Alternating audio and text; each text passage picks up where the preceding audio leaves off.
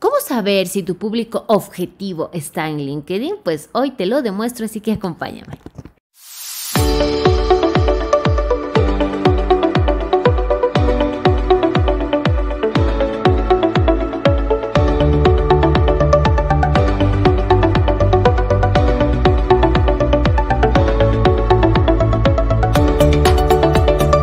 Negocios en Digital 971. Hola, hola, ¿qué tal? Nuevamente bienvenidos al podcast, al programa de negocios en digital, el podcast en el que nos encanta y nos apasiona hablar de los negocios. Ya saben ustedes, ya arrancamos esta semana, lunes 13 de junio del 2022. Vamos a hablar sobre, porque me pasa que muchos profesionales dicen, pero Katia, no sé si mis potenciales clientes, si mis clientes y mis prospectos ideales están en LinkedIn. Pues hoy lo vamos a revisar. Pero claro, ya saben, ya que nos encanta y somos amantes de esta valiosa plataforma LinkedIn y cómo podemos hacer negocios en ella nosotros enseñamos, si tú eres un mm, gerente de marketing, de ventas, el CEO de tu empresa, un autónomo, en fin, quieres implementar eh, un embudo de ventas en LinkedIn que te permita que te lleguen de manera constante leads calificados. Esto es lo que nosotros les acompañamos a las empresas, a los profesionales durante 10 semanas intensas a que puedan implementarlo. Si quieres realmente eh, conseguir este nuevo reto, pues entra a kateman.com slash mentorías. Nuestras formaciones Leads for Sales, echarle un vistazo si eres un equipo de trabajo o eres pues un profesional solo, pues ahí tienes las dos opciones de echarle un vistazo y presentar tu candidatura para pues tener una reunión y validar si efectivamente podemos trabajar juntos. Bueno, vamos a volver al tema. Y es que, como les decía, a mucha gente tiene las dudas, ¿será que están? ¿No están? Pues bueno, hoy les voy a dar tres formas de buscar a tu público objetivo en LinkedIn. Dos de las primeras son gratuitas y que te viene muy bien para identificarlas y la, la, última es la de pago. Bueno, las dos primeras. La primera, Google. ¿Cómo hacer las búsquedas en Google de tu perfil eh, ideal del cliente dentro de LinkedIn? Pues bueno, supongamos que queremos eh, buscar o hablar con gerentes del sector de automotriz, por ejemplo, que tengan más de 500 contactos. Pues bien, les voy a dejar en las notas del programa el comando exacto que deben, deben poner en el buscador y es que dice site, S-I-T, dos puntos, s.linkedin.com slash int, espacio, entre comillas, pues las palabras que yo quiero buscar, en este caso sería gerente, espacio, eh, más de 500 y espacio automotriz. Con esto yo le estoy diciendo a LinkedIn, mira, eh, mira Google, búscame en esta página. Eh, personas y la página es s.linkedin.com y es que eh, este comando hace que busque le decimos a Google que busque en la página que a continuación o en, el sitio web que a continuación estamos poniendo. En este caso es LinkedIn. Y si le pongo el prefijo S porque esa es una página de LinkedIn en Ecuador y esto aplica para el resto de países. Si quieres, por ejemplo, para hacerlo España, le puedes poner es.linkedin.com slash int. ¿Sí?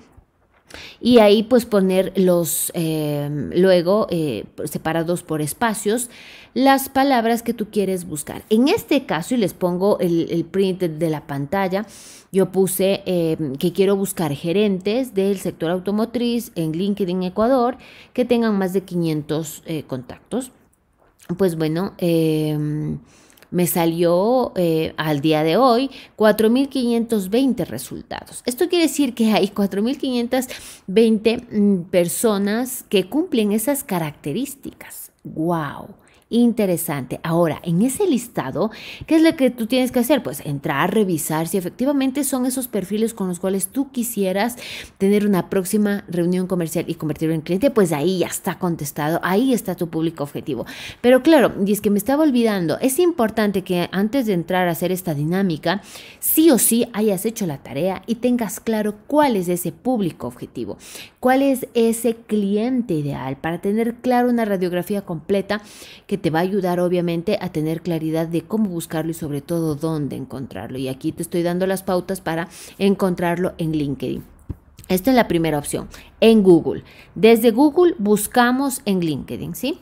Eh, para quien quiere saber más, está en las notas del programa. Luego, búsquedas de LinkedIn en tu perfil. Y es que la versión de LinkedIn gratuita te permite hacer búsquedas de profesionales y de hecho les voy a dejar en las notas del programa. Ya habíamos hecho otro episodio del podcast hablando sobre cómo hacer las búsquedas, incluso búsquedas booleanas. No me voy a detener mucho al respecto porque ya hay un episodio al respecto y que acá les dejo es el episodio 748 para ser exactos. ¿Sí? Entonces, bueno, al final del día, tú en LinkedIn puedes buscar personas, empresas, publicaciones, eventos, cursos, grupos, servicios, instituciones educativas, pero básicamente para encontrar tu público objetivo, que es la dinámica del, del ejercicio de hoy, pues puedes enfocarte en buscar personas y hasta posiblemente empresas que te puedan interesar. ¿Sí? Sin embargo, hay que tomar en cuenta una cosa, que LinkedIn no te muestra todos los profesionales que él tiene en su plataforma, sino que eh, solo te muestra una parte y esto también va a depender muchísimo de tu red de contactos, la red de contactos que tú tienes. De hecho, les voy a poner, eh, sacamos una publicación, si no estoy mal, eh, en las redes sociales y también no sé si hicimos un episodio del podcast donde hablábamos la importancia y la relevancia de ir creando una red de contactos. Mientras más calificada y grande sea tu red de contactos, más oportunidades vas a tener eh, de poderla trabajar de manera inteligente. Pues bueno, y aquí les pongo una captura también de las búsquedas, ¿no? Y ahí pues igual tú puedes entrar, revisar y ver de manera gratuita si estas son las personas con las cuales tú quieres interactuar, ¿sí?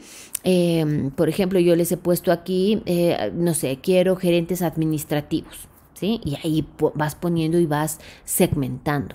Ahora, la última, la tercera, y esta sí es de pago, es la de Sales Navigator para todos los que queremos hacer negocios dentro de LinkedIn, ¿no? Y es que, a, diferencia de las otras dos, esta sí es de pago, pero que bien vale la pena esta inversión si tú realmente lo que buscas es, sacarle partido y captar potenciales clientes que te vengan o te representen proyectos de 5 mil, 10 mil, 30 mil, 20 mil, lo que sea, eh, pues te va a justificar esa inversión eh, de Sales Navigator. Así que, pues bueno, de hecho, próximamente les cuento que vamos a sacar la calculadora del retorno de la inversión en LinkedIn para que ustedes puedan cuantificar cuánto tiempo ustedes le van a demorar, ah, se van a demorar en trabajar una estrategia en LinkedIn y cuánto esto les va a representar dependiendo obviamente de sus productos y del giro del negocio.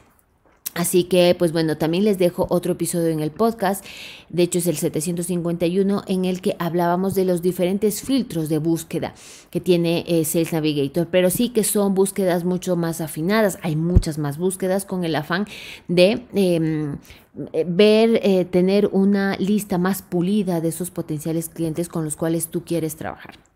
Y entonces ahí sí te pregunto, luego de eh, de saber que tu público eh, de tu cliente ideal está en LinkedIn, ¿qué estás esperando para implementar una estrategia que te permita ponerte delante de ellos y conversar? Así que con esto, con esta reflexión nos quedamos. Si este contenido te pareció interesante, por favor, compártele, compártele a ese socio, ese compañero, ese jefe que le pueda interesar. Y si ya están en los podcasters, por favor, sus valoraciones de cinco estrellas es importante para que el podcast siga creciendo. Ya saben que lo hacemos todos los días, de lunes a viernes, con alto ah, amor, cariño, pasión por lo que nos encanta y pues con el afán de aportar valor para todos aquellos que nos están escuchando. Así que sin más, nos vemos y nos escuchamos el día de mañana. Tenemos una valiosa entrevista a Pedro Luis em, Sánchez, que él nos va a comentar sobre qué es el protocolo corporativo. Realmente importante, no se lo pueden perder. Así que nos vemos. Chao, chao.